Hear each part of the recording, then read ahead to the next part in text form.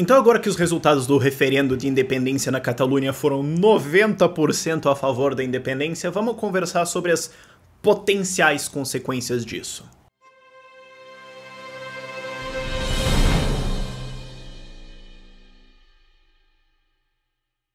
Tem várias perguntas que estão fazendo. Ah, a Catalunha pode sobreviver? No que, que vai dar isso diplomaticamente? Como é que vai ficar isso com a Espanha? E a Espanha agora? E a União Europeia? O que, que isso significa para outros países, etc. E antes de tudo, é preciso lembrar sempre que todos os indivíduos têm um direito natural de demitir o seu governo, porque se o poder emana do povo e o povo é o conjunto dos indivíduos, um indivíduo pode demitir o seu governo. Então, esse é o, é o, é o direito que foi exercido uh, nesse processo de independência. Por isso que não faz sentido você dizer assim, ah, mas não é constitucional. Uma constituição não tem autoridade para proibir isso. Assim como um contrato de emprego não tem autoridade para proibir que você se demita. Não faz sentido lógico, jurídico, isso, ok? Uh, mas isso esclarecido. Então, agora perguntando, né? Bom, e agora o que, que vai ser para Catalunha? Bom, é esperado, uh, foi prometido, foi falado, mas não sei, né? Que eles vão declarar a independência nas próximas 48 horas, nas 48 horas seguidas à declaração do resultado. Então pode ser essa semana, mais ou menos. Depende de formalidades e tudo mais. Eles podem fazer isso. Outras coisas podem entrar no meio, não sei exatamente o que vai acontecer. E daí a pergunta é: tá, e daí? Mandaram os caras pra PQP, e agora? Bom, e agora você vai ter certas negociações eh, institucionais entre os dois, de ah, como é que a gente faz com pensões, blá blá blá, o que é uma coisa relativamente normal, mas o ponto central dessa discussão agora da independência entre Catalunha e Espanha seria quem fica com a conta, nomeadamente quem fica com a dívida. Porque é isso que a galera não tá percebendo, é essa que é a massiva alavanca que a Catalunha tem contra a Espanha, porque a Catalunha pode falir a Espanha pro Natal, basicamente. Simplesmente pelo seguinte, a Espanha tem uma dívida em relação à PIB de quase 100%, é 99,4%, é, 100%, dane-se. E a Catalunha tem 19% do PIB da Espanha com 16% da população. Se a Catalunha se separar da Espanha e falar, quer saber?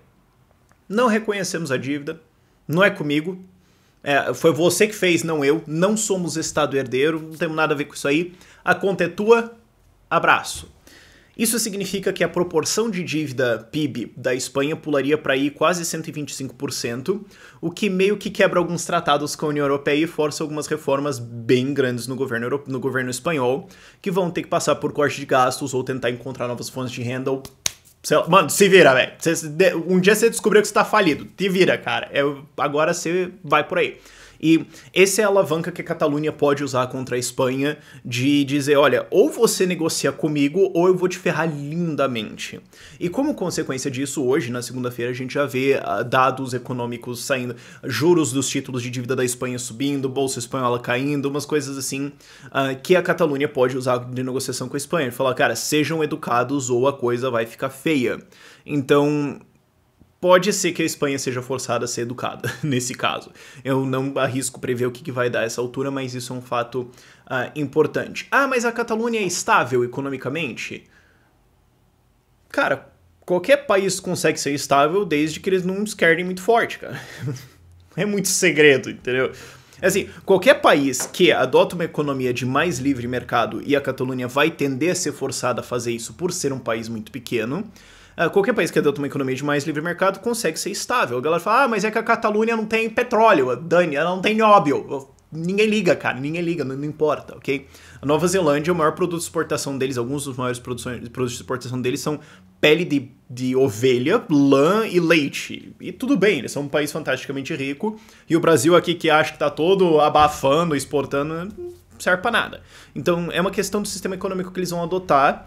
E, como eu falei antes e repito, o fato de ser um país pequeno com uma população menor força uma liberdade de mercado maior, porque eles não podem falar, não, vamos ser autossuficientes, vamos ser protecionistas, vamos fazer. Não, você não vai, não funciona isso. Você consegue enrolar nisso por um tempo maior se você consegue fazer uma autossuficiência no país em que você mantém um padrão de vida menor, mas você disfarça isso com nacionalismo, que é basicamente o que o Brasil faz. Agora, quando você depende de importação e exportação para ter assim comida não rola. Não rola esse tipo de coisa. E especificamente agora também com essa discussão da dívida. Se a Catalunha assumir a dívida, não, não vai dar pra esquerdar muito forte. O orçamento não vai deixar, cara. Não vai rolar isso por muito tempo. Mesmo que eles entrem na União Europeia, não tem porte, cara. Se você vê os países que conseguem esquerdar mais forte, eles tendem a ser países maiores. Eles, eles conseguem fazer isso por mais tempo, enquanto os países menores tendem a ser forçados a políticas mais. Ô, oh, cara, entenda a realidade da coisa, ok?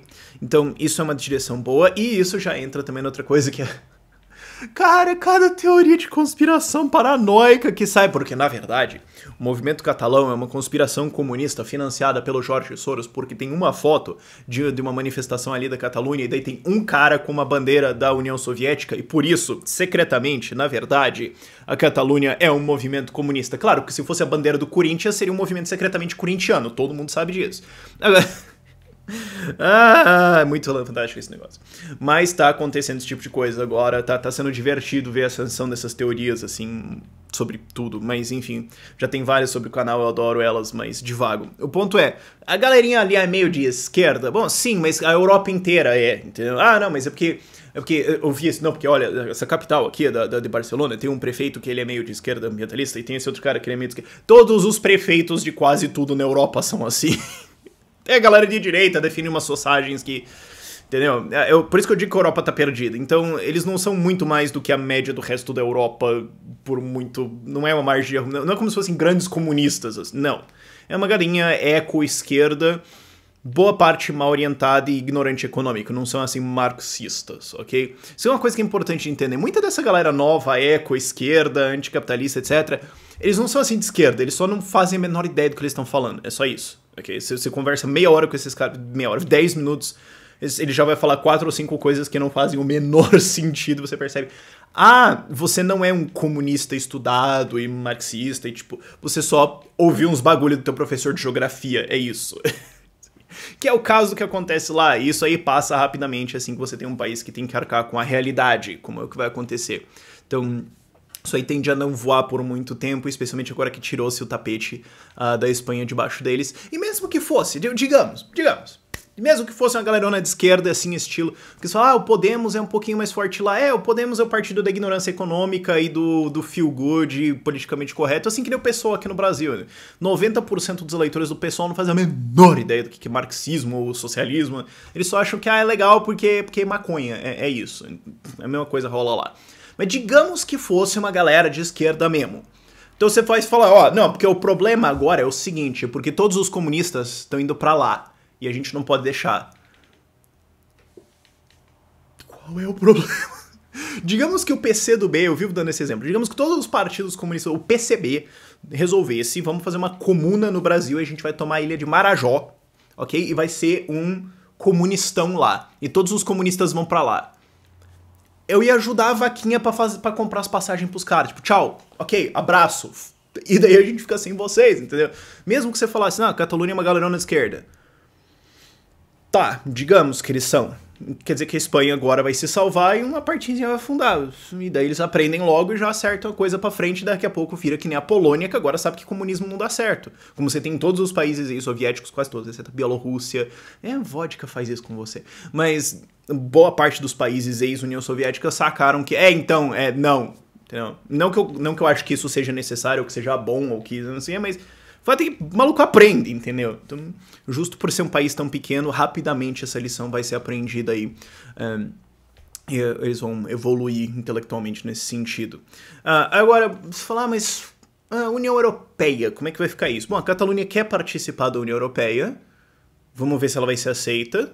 Na verdade, esses estudos saíram. A Catalunha está muito mais perto da União Europeia em termos de riqueza, dívida, PIB, etc., do que a Espanha. Então, na verdade, se você se preocupa com isso, você deveria mais se preocupar se a Espanha vai continuar do que a Catalunha vai ficar.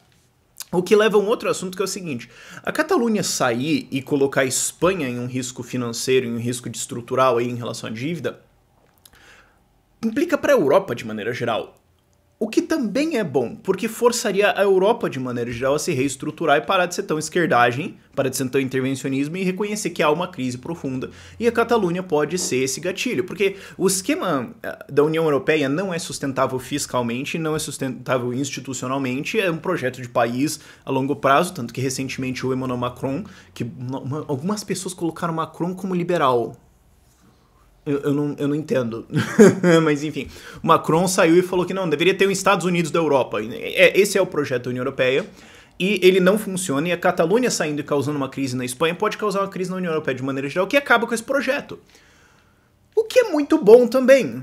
Ok, não, separou um negócio aqui, expõe a fratura, isso tem aquele efeito spread, né, aquele efeito de infecção, e quebra a coisa toda e os caras são forçados a parar de esquerdar mais cedo. Mas eles são comunistas, porque tem aquela uma foto de uma bandeira. Ah, enfim. É... Aí você tem problema de reconhecimento internacional. Isso pode dar um problema aí nas próximas semanas ou meses, porque de maneira geral a posição da União Europeia é que isso é um assunto interno da Espanha. Pelo menos por enquanto essa é a posição. E o Donald Trump saiu. O Donald Trump.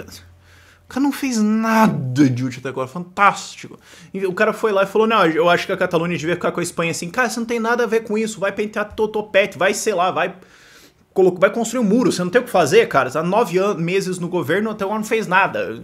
Quer dizer, um dos melhores presidentes dos Estados Unidos, então, por essa métrica, mas do que ele prometeu não fez nada. Vai se ocupar com outra coisa. Mas, então, o fato é que a Catalunha pode acabar não sendo reconhecida tão cedo. Um, ou pode ser que alguém, alguns reconhecimentos de troslagem apareçam assim, tipo a Inglaterra. Tipo, o Reino Unido chega lá e fala: Não, reconhecemos. A Escócia. isso ia ser engraçado. Porque tecnicamente eles não podem fazer isso, eu acho. O meu inter, direito internacional, o jitsu não tá tão bom assim, mas acho que a Escócia não pode reconhecer. Um, mas enfim, algum país pode reconhecer, mas isso daria algum problema inicialmente. Agora, conforme as coisas vão se acertando mais e elas vão se acertar mais, isso vai ficar mais claro. A coisa vai continuar pacífica? Essa é uma preocupação também. Será que vai rolar uma guerra civil? Eu acho que tende a, tende a continuar pacífica sim.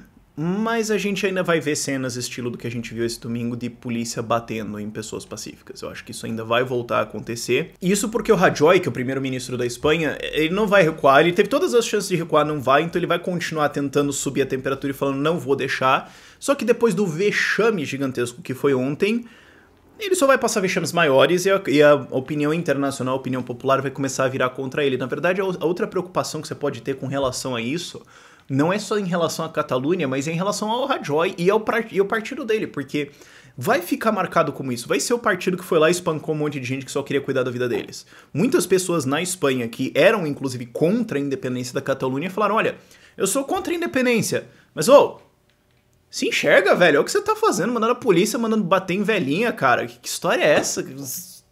Muitas pessoas acharam isso ridículo e o partido do Rajoy vai ficar marcado. Então isso pode ter consequências políticas para a Espanha nos próximos anos. Um, agora, vamos acompanhar no que, que isso vai dar aí. Uh, ainda tem muita treta para acontecer, ainda tem muitas negociações para acontecer.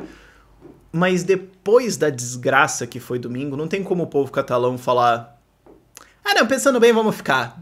Não, isso não. Não vai acontecer. Agora é uma questão de tempo e de como.